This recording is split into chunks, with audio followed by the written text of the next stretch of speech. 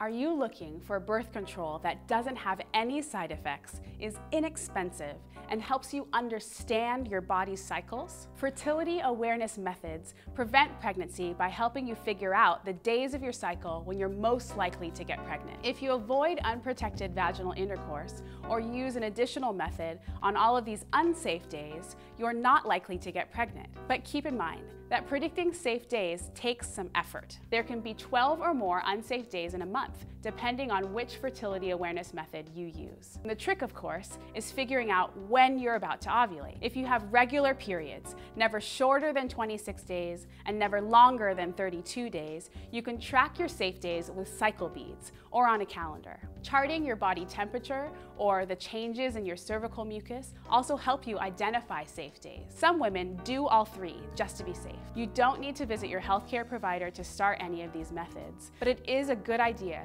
to learn as much as possible about how to make them work for you. How well do they work?